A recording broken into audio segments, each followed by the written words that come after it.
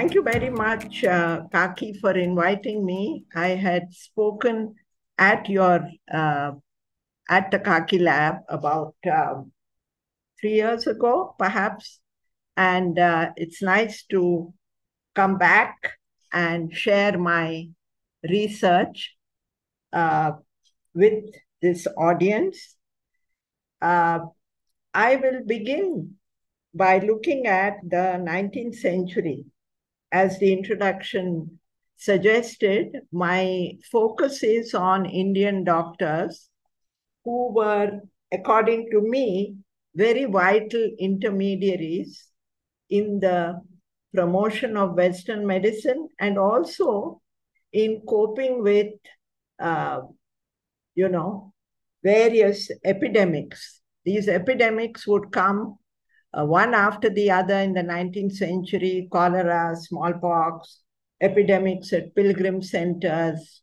And uh, these doctors were very vital in the sense that smallpox vaccination was introduced in Bombay from the middle of the 19th century. And there were these doctors who had to counter superstition, who had to counter opposition. But I have mentioned Ananta Chandroba Dukle, Bhau Daji Lad, Narayan Daji, Atmaram Pandurang Tarkhadkar, Shantaram Kantak, and Sakharam Arjun Raut, all of whom promoted smallpox vaccination. It was very important that this was being promoted by Indians, and therefore, you know, the receptivity from the public would be uh, more apparent because they would look, the public would look upon the uh, foreign doctors with suspicion. So, in that sense, that is why I call them vital intermediaries. So, in the 19th century, it was primarily cholera control, prevention of epidemics at pilgrim centers, promotion of the smallpox vaccination. And also, interestingly, they formed what was called the Bombay Medical Union. And they were very powerful voices in Bombay's civic affairs they would what I call dissect reports of the health officer. And here I mention Cattrack and Thomas Blaney, uh, who was actually an Irishman who practiced in Bombay. And both of them indicted the health department before the onset of the plague epidemic.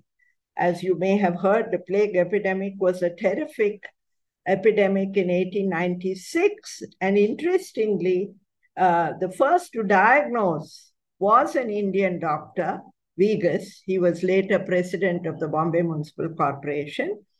And Ismail Jan Mohammed diagnosed two cases of pneumonic plague.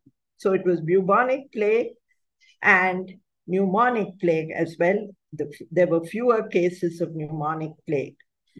Now, what is very interesting is that you had Haffkine, I don't, we don't have enough time to talk about Haffkine, but Haffkine was this remarkable personality who was actually working in Calcutta when they summoned him to Bombay to come and look for some kind of prophylactic which would, you know, control the plague epidemic. So Haffkine worked in what is today the Grant Medical College uh, in a la laboratory there and he developed the pr prophylactic.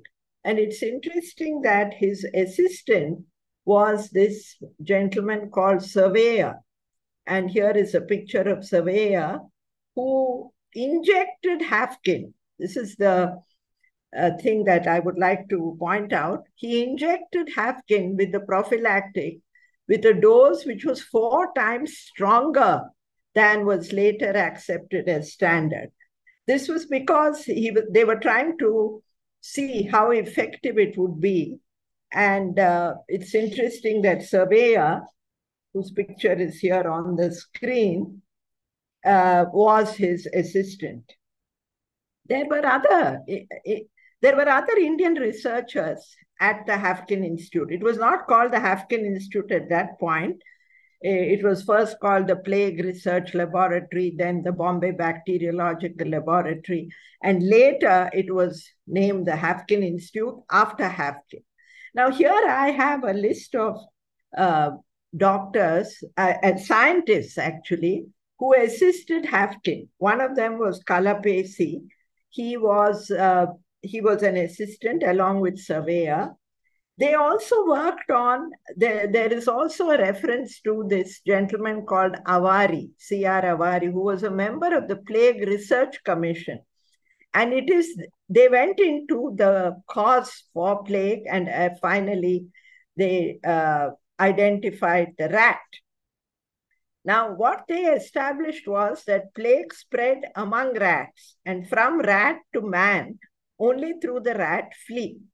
The rat flea bit man only when deprived of its natural host, the rat.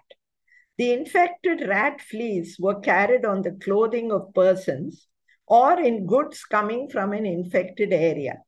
And often the human agent may just escape the infection. They also established that bubonic plague was not infectious.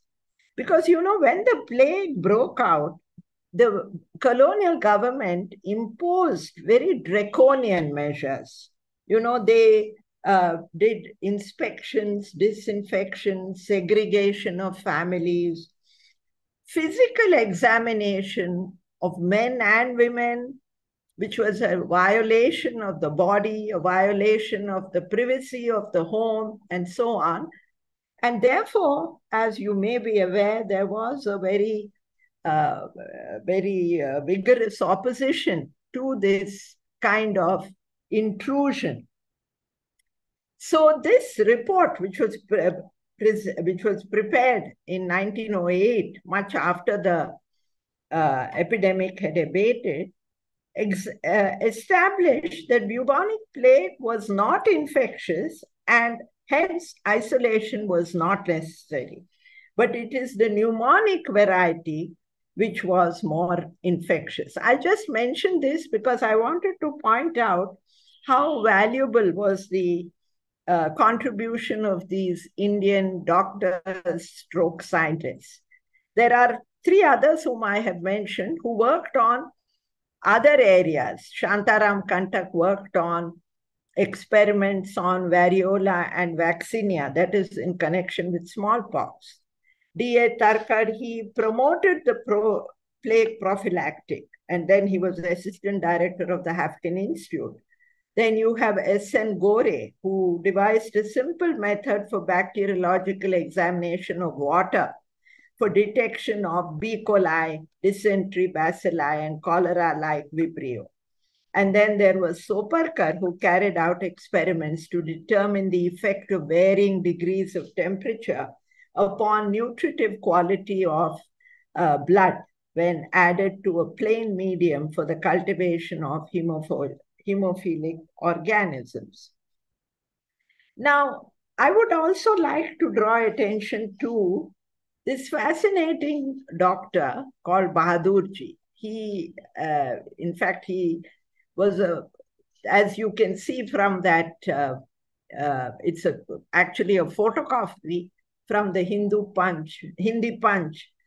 Uh, he died. He died tragically during the play, and as you can see, he is being called conscientious, fearless, and independent. This doctor studied in England at the University College London, and then he gained research experience at the Pasteur Institute and in Berlin. And he went back to England for his BS and MRCS where he won prizes for proficiency. On his return to India, he served as professor of clinical medicine and pharmacology at Grant Medical College. Following his resignation from GMC, because he fell out with his boss, there's very interesting uh, correspondence about this, how he fell out with his boss, who was an Englishman called Wellington Gray, he set up an extensive private practice. Not only this, during the plague, it, he set up a hospital for the Parsis, And uh, he worked tirelessly in this hospital till he died in 1898. He was a very young man when he died. But before he died, he was, as the Hindi Punch said, as I have quoted on the slide, he was like a meteor because he campaigned in the 1890s against the British monopoly over the Indian medical service. And he campaigned for the separation of the civil medical service from the military service. He wanted actually hospitals to be manned by Indians. And that uh, dream of his was realized in 1926 when KEM Hospital was set up. So here are, I'm uh, drawing your attention to a few of these personalities who were quite fascinating. One is Bahadurji, and one of the methods of combating this epidemic, they had to force people into the hospital. It was not an easy task. Of course, plague kills very quickly. So I will relate to you the experience of the next doctor, who was Nasarwanji Hormasji Choksi, who has left a report of the plague epidemic of 1896. He was in charge of the hospital, which today is called Kasturba Hospital, Arthur Road Hospital. He was, his name actually became synonymous with the treatment of infectious diseases. He remained in charge of the hospital till 1922 and he served as Secretary Indian Factory Commission. He was associated with the establishment of the Acworth Leprosy Hospital, which is in Wadala even today. And he was on the board of management and member of the Viceroy's Leprosy Relief Fund. He prepared special reports on plague, leprosy, fevers, and cholera, and he edited this delightful little journal called the Indian Medico Chirurgical Review. He, in fact, in this uh, journal, they championed the cause of what Bahadurji had taken up, and they uh, he was the editor till he had to take over the Arthur Road Hospital, 1896 to 1893 to 96. He also contributed to the Lancet and to the Indian Medical Gazette. He was president of the Bombay Medical Union and he campaigned for the recognition of parity of Indian degrees with British degrees.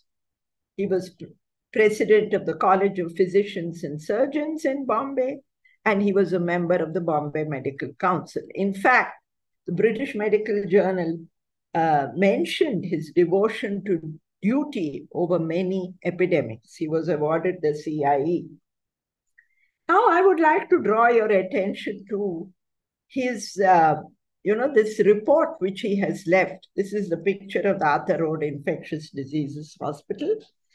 Uh, he has left a report of how he had to cope with uh, cases who would be brought to the hospital under compulsion and normally when they were beyond all help. And then he says he had to deal with pseudo specialists who would pretend to know all about plague and who would, for a time, forget that they were tram conductors, railway guards, engineers, postal inspectors, or clerks, and they would all have suddenly blossomed into being specialists. Choksi also tells us how you know, it was so difficult to get uh, help. You know, the nursing was done by the All Saints sisters, but he could not find recruits to help him. And once they came, they would run away within hours or days because they had never seen so many people die of plague. Of course, it is a fact that they were brought to the hospital in a moribund condition numerous admissions and so many cases would just die. And Choksi had also, he says, to contend with rumors. Now, this is very interesting. The rumors were that the authorities were taking these people to hospital in order to remove their hearts. Now, why remove their hearts? Because at the beginning of the epidemic, there had been a attack on the statue of Queen Victoria. So the rumor was that these patients were being deliberately killed in the hospital, their hearts were being taken out and sent to the Queen in England to appease her wrath. And because her statue had been disfigured, and there was also a rumor that doctors are cutting up dead bodies and not returning them to their kinsmen, and so on. In fact, this hostility culminated in a raid on the hospital, 29th October 1896, when it is said an estimated 800 to 1,000 mill workers rushed in, broke open the gates, scaled the walls in order to wreak vengeance on the staff. Uh, some of them even reached the wards and even injured some patients, but no one was seriously hurt. They were dispersed by the police, who continued to be stationed on the premises for some time. As for relatives and friends, Choksi writes, they were welcomed with the hope that they would supplement the efforts of the nursing staff. But they were so terror stricken that they would not venture beyond the gates. And once the patient had been admitted, even children who were brought to the hospital by parents would be abandoned, and their parents would give incorrect addresses and could not be traced afterwards. These children were later either adopted or cared for by the All Saints sister. Choksi mentions his colleagues. It's very uh, pays uh, tribute to his colleagues. Uh, one of them was called Pilgaonkar, and the other was a lady, Manik Tarkar. There was also, the, as we saw during the COVID, the danger of exposure to the disease. These doctors who were attending to these patients, you know, were uh, exposed to the disease, and two of them are mentioned by uh, Choksi in his report. P.N. Dauda, he succumbed to the plague, as did a lady, Annie Walk. She was actually employed at the Cama Hospital. She volunteered during the plague and she succumbed to the disease. So these, these are the kind of uh, records which are available, a kind of first-hand record which uh, I have consulted and uh, there is no time now, but Choksi, uh, there's a lot on Choksi. In fact, I have a whole chapter on him in my new book. He collected statistics of patients and, you know, he uh, experimented with a serum treatment in plague cases. And he treated 275 cases with the subcutaneous method of admin administration. And he presented a paper on this at the Bombay Medical Congress, which I will talk about later. Now, the next, there was a trio, it's very interesting, a trio of Choksi, Bhatwadekar, and the health officer, John Andrew Turner. This trio were involved with the public health scenario in Bombay for the first 20 years of that century. As you can see, Bhatwadekar had a very remarkable uh, career. Ch- Chairman Standing Committee BMC, nominated member Bombay Legislative Council. He was the Senate representative in the Legislative Council, Dean of Medicine, member of the City Improvement Trust, member of Council of the Governor of Bombay, President Bombay Medical Union. And here is his motto treat your patient as you would your own son. The province of hygiene was not to cure, but to prevent disease.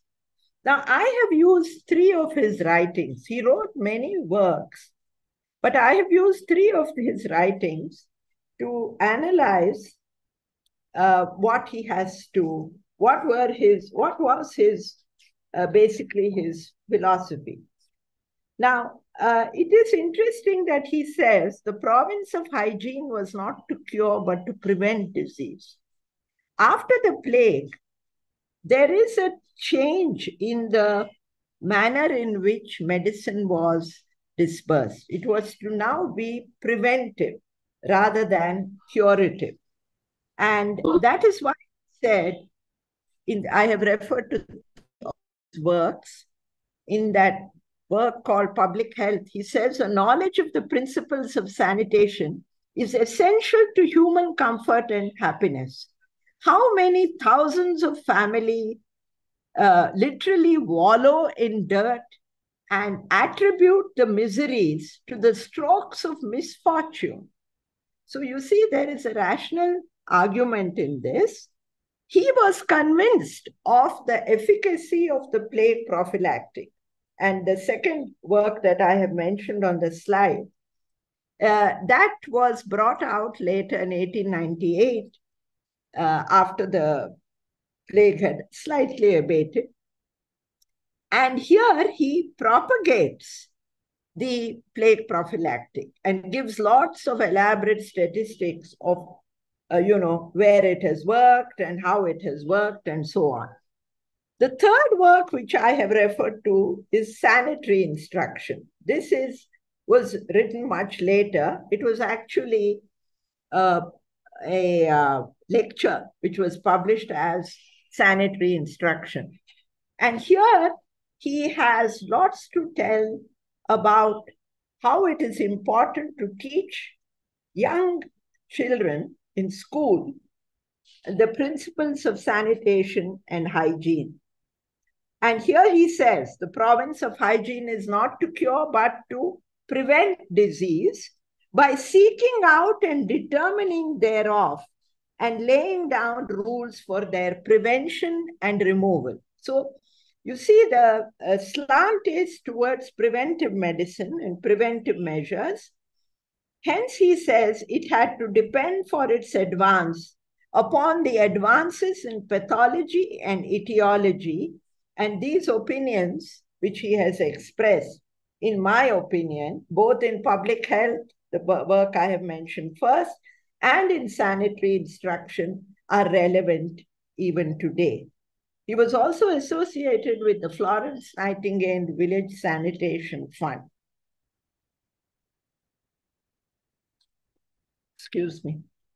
The third of the trio is this man, John Andrew Turner. John Andrew Turner became health officer in 1901 to 1919. With Choksi and Bhatwadekar, he promoted various public health measures.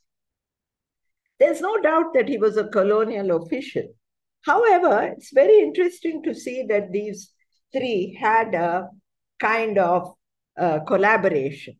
He was a favorite of the Hindi Punch. There were cartoons shown, uh, uh, shown, I mean, cartoons drawn showing him like a Pied Piper, chasing the rats and swatting the mosquitoes, you know, in the anti-malarial campaign. Now, uh, but uh, this Bombay, as I said, in the early 20th century, just after the plague, you have this promotion of preventing med- preventive medicine. So Bombay Sanitary Association was set up in 1904, mooted by Choksi and Turner.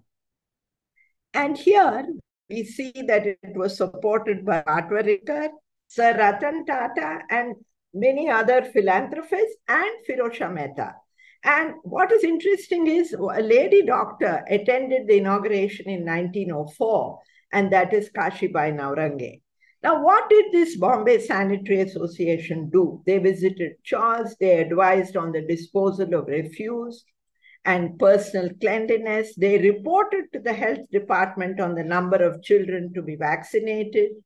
They distributed leaflets in Marathi and Gujarati on the dangers of spitting, disease, and flies, and practical hints on nursing and the rearing of children.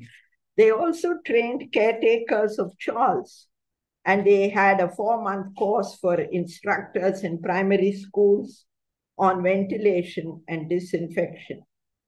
in Marathi and six-month course for sanitary surveyors on food, hygiene, and communicable diseases. They conducted public lectures accompanied by magic lantern slides long before the days of PPT. So Choksi gave the first talk, which was on some common sense views on plague. Glen Liston, he was with the, what I call the Bombay Bacteriological Laboratory, which became the Haffkine Institute. He spoke on the structures of buildings to prevent rat infestations. And Shroff, he spoke on dengue. The man called W.W. Peter, he spoke on malaria. In fact, this Peter's, uh, Peter would go around the streets with huge placards on malaria, you know, to educate the public. And they even used a gramophone to attract audiences. I have here Sir Ratan Tata, who supported this, uh, this uh, uh, uh what do you call, initiative. And here is Sir Firozshah Mehta, great civic leader. He was a lawyer, municipal commissioner of the Bombay municipality, four times president. He was also one of the founding members and president of the Indian National Congress. He was knighted by the British government in India for his service to the law. And here is a delightful cartoon from the Hindi Punch where Sir Firozshah Mehta is shown steering the ship of the Indian National Congress, 1904. Now, in 1909, they held the Bombay Medical Congress. It's not that our Indian doctors were given prominence the prominence was given to all the bigwigs from the Western world. However, Choksi reported the result. They did. They were allowed to present papers. Choksi reported the results of the serum treatment in plague cases. Bhatwadekar endorsed the efficacy of this treatment. He said that he had used it in his practice. And these two, Jahangir Karsetji and Bomanji Master, presented a paper called Unhygienic Bombay. And there they said, why do they give this unfortunate title? Because of the incomplete sewerage system, the improper location of cattle stables, the pollution of the soil, and the imperfect conservancy. Another doctor who presented, I'm only giving a few of their, few of them, is Kavasji Dada Dadachandji, who emphasized the importance of pure water because both cholera and typhoid were waterborne diseases, and he advocated a constant water supply. Again, it's of interest that Krishnabai Kelavkar, she was the only woman on the central committee of the uh, Bombay Medical Congress. There are others who spoke, uh, but I may not have time because I want to also talk about the women doctors. Here is a cartoon again from the Hindi Punch. Now, after the medical congress was is the theme of this cartoon, and here you see this man kneeling before Hygeia. He says, "What is wanted is a healer of poverty," because the general impression was the Bombay Medical Congress was basically a colonial show. So, what they want is really a healer of poverty. This is the theme of this. Now, one of the very important uh, initiatives taken by the Bombay Sanitary Association, and you know, this is the recognition of tuberculosis as a public health challenge. It's not as dramatic as cholera or smallpox or even plague, but it was a silent killer. So the Anti-Tuberculosis League was set up in 1912, again supported by Tata and others. And this is what they did. They notified the disease with the aid of medical practitioners. They examined individual patients at their homes. They provided for a central dispensary and information bureau. They examined both the family and other contacts. They did medical inspection in schools, mills, factories, railways, and docks. And they even had a, some hospitals which would admit advanced cases, and there were even some sanatoria set up. Here again, we have Bhatwadekar assuring the support of the Social Service League, which was a reformist body set up in 1911 and he, he was associated with it. So he promised that that would be supporting the anti-tuberculosis league. Kashibai Nowrange, being a lady doctor, pointed out that tuberculosis was wreaking havoc among the poor, especially among women who lived in seclusion. R.B. Billimoria stressed the importance of early diagnosis and impressing upon the patients and the relatives the danger from sputum, because that's how it could spread. And they recommend he recommended rest and proper nutrition. Sorab Ejini, another doctor, recommended regulations against spitting and inspection of dairies. They had home visits.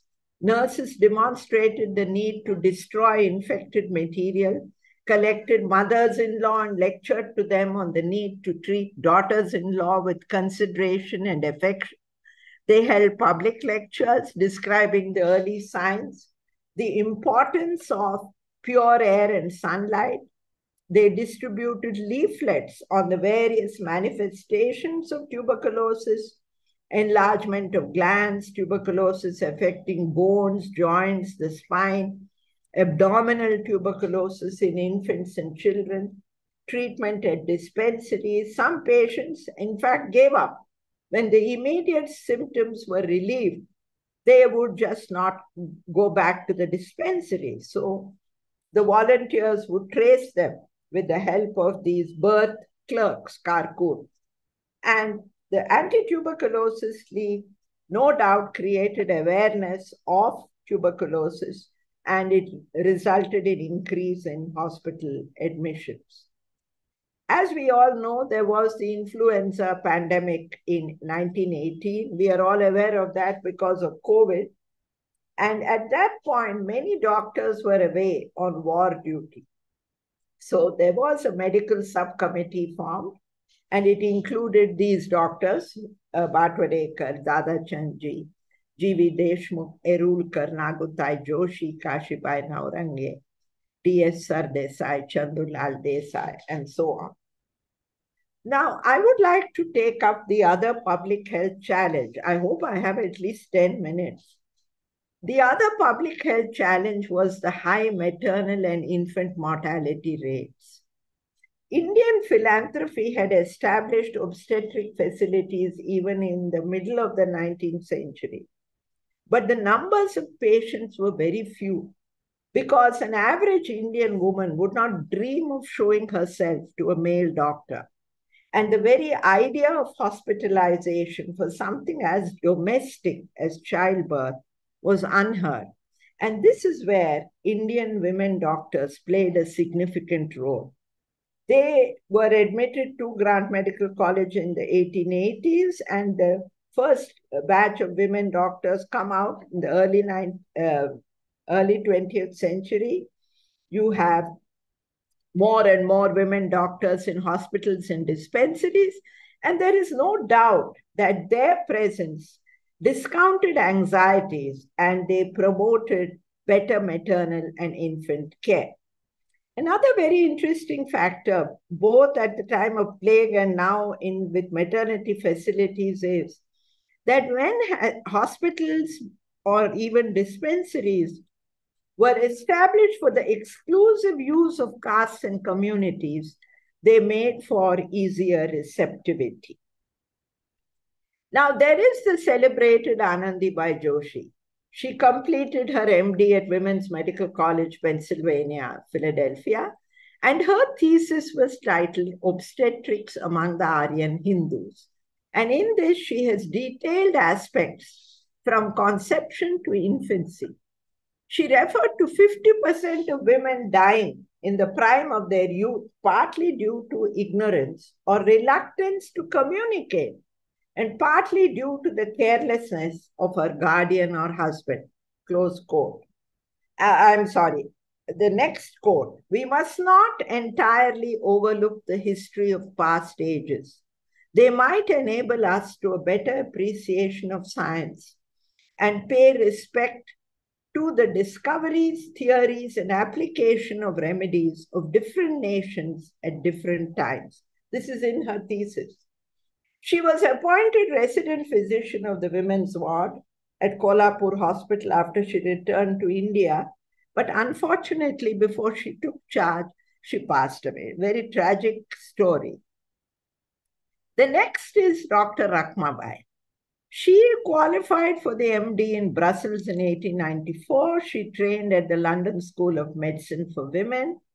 And when she returned to India, she worked at Cama Hospital, which is a very interesting institution because it was set up for women and children to be run by women doctors. So she was house surgeon there. Then she moved to Surat uh, and she was chief doctor to the princely states of Saurashtra, 1918 to 30.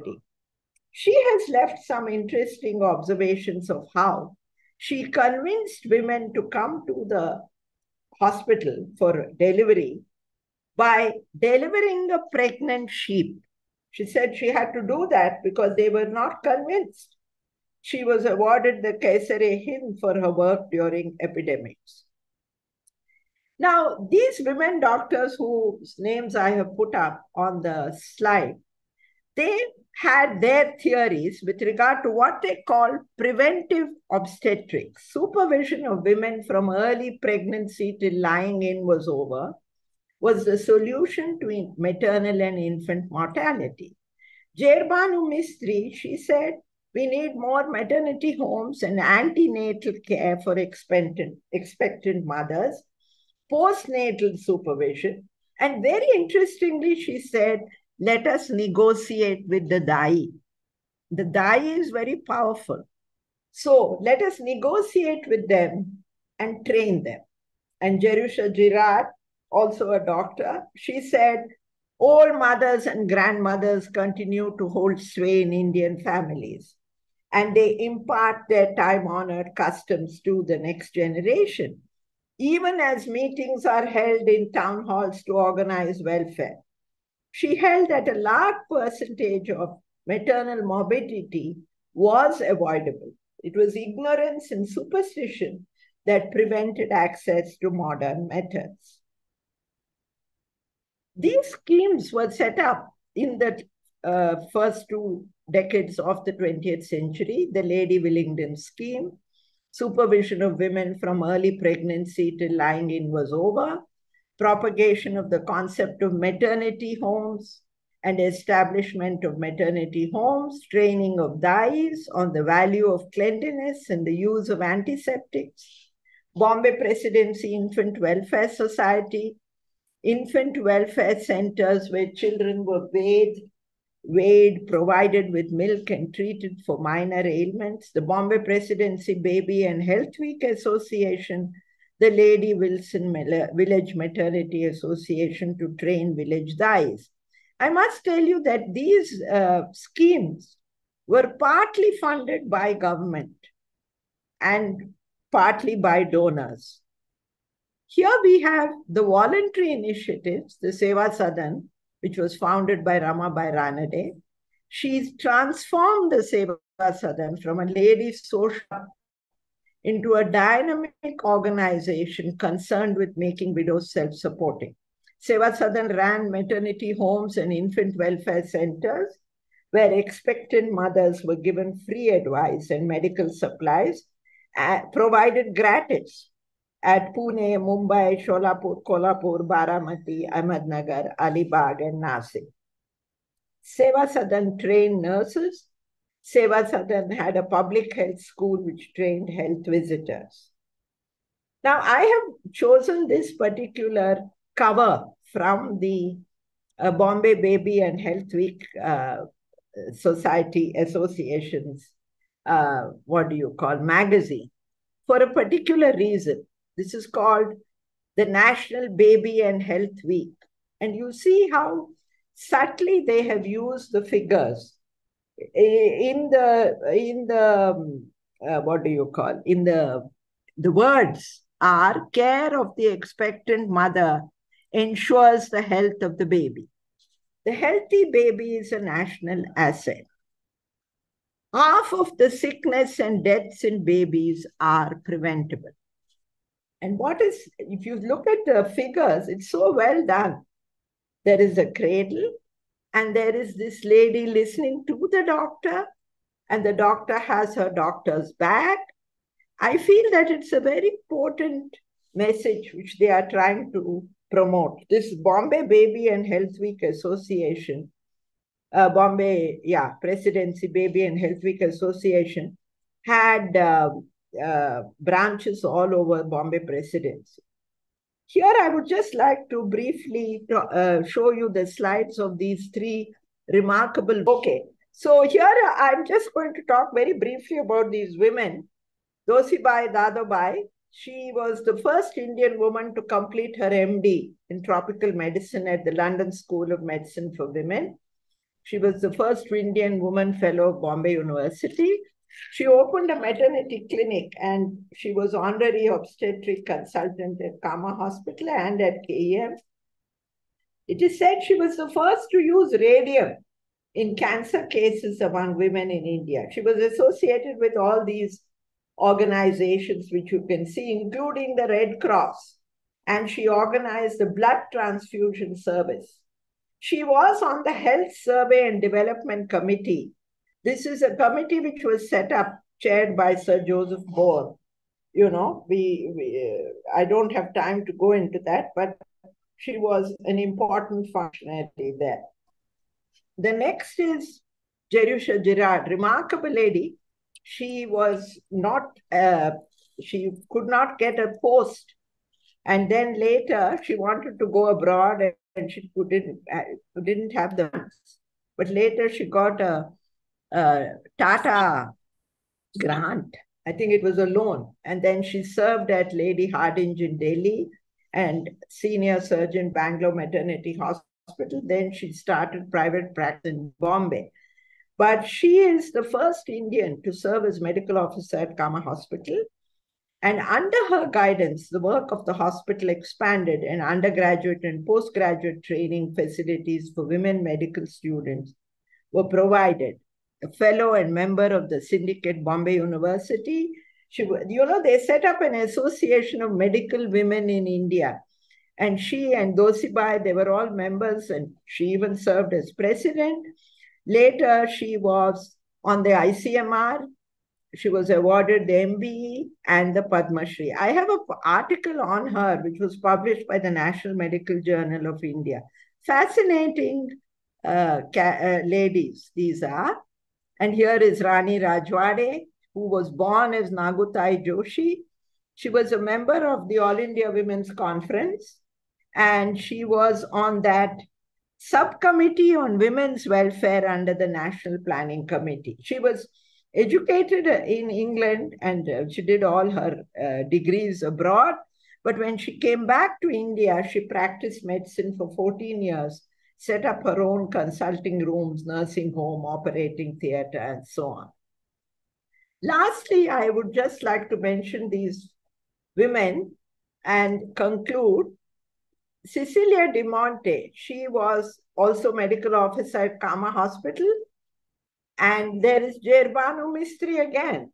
She was a member of the Indian Prostitution Committee and she gave a note of dissent along with three others, against the recommendations for regulation and punishment for prostitution. She was also concerned with improving the standards of cinema films and worked to improve the condition of women in detention cells and in the mental hospitals of the presidency. And there are other ladies whom I am, you can see. This Hazel Machado she was a member of the Social Service League and she provided medical relief during the influenza epidemic of 1918. And Myrtle Machado, she worked in the dispensary which was set up, you know, to combat venereal diseases.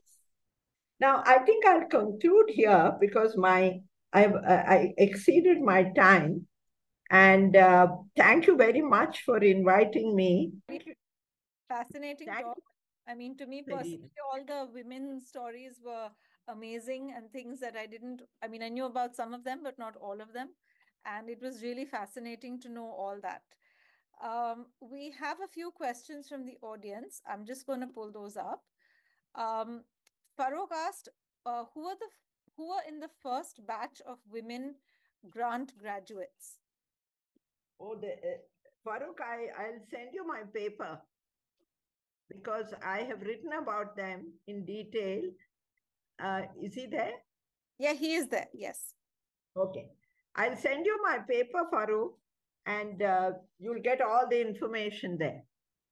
Uh, would you be able so, to just tell us any of the more popular, I mean, ones that we would have known in the first batch of women from Grant Institute? The batch, yes, Annie Walke was one of them. I told you she succumbed to the plague.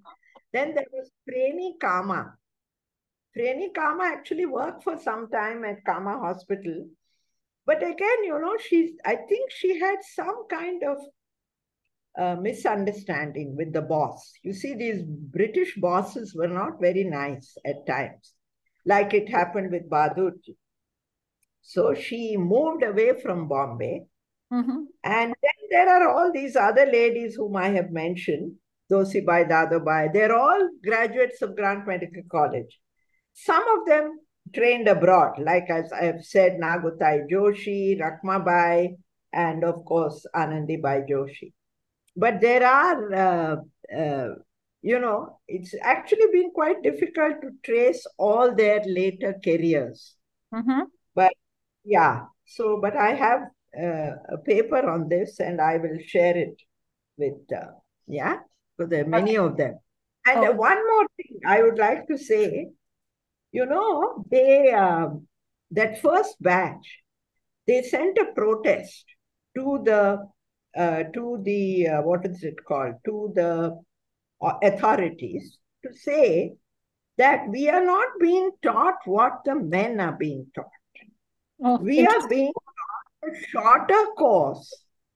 Why is that so? We are equally capable of understanding because there were also all these uh, stigmas, you know, dissection and all these things. It's not easy. So there is that very interesting protest which they put up. That, yes, that is interesting. That is, that is interesting. Yeah. That was uh, Jijina. Manik Thakkar was. She is another very fascinating character. She married Bahadur brother. For yes. Yes. Yeah. Okay, I'm going to take the next question, which is by Fidos. He said that what work did uh, Dr. Rakhmabai do during the epidemic? Oh, she worked both during the plague and uh, uh, later, you know, because she worked in Surat and in uh, Rajkot. And that is why she was given the Kaisar-i-Hind. And very important in her uh, writings, what you see is how she overcame the prejudices of women in those, I mean, she was not in Bombay city. See, she was in the uh, in what you call the hinterland, and there she says how difficult it was to convince them to come for deliveries. You know, but she was very successful apparently, and she had a long innings there. Okay, uh, Mayuresh has asked another question. He said that I noticed that most of them mentioned in the talk were upper caste. Uh, it is not surprising considering opportunities for studying medicine and practicing would be very rare for Dalits during those days. However, do right. we know any Dalit doctors during that time? And also, he was curious about how Indian doctors in the colonial uh, era navigated untouchability. It's an yeah. interesting question. Yeah very interesting. And no, we have no data on Dalit doctors. And my focus was only on this first. See, they start opened uh, courses to uh, uh, what do you call to women in 1883, and uh, I have kind of touched up to 1920. I've not gone beyond that, right? Uh, because shortage of time. but um, yes, it is a fact. And you know, you do read uh, also of racial racial distance. You know, I have come across some references to how European doctors would not treat Indian patients. So there was that racial angle. Right. The untouchability angle is yes, that would also basically in this period, the very idea of hospitalization was a stigma.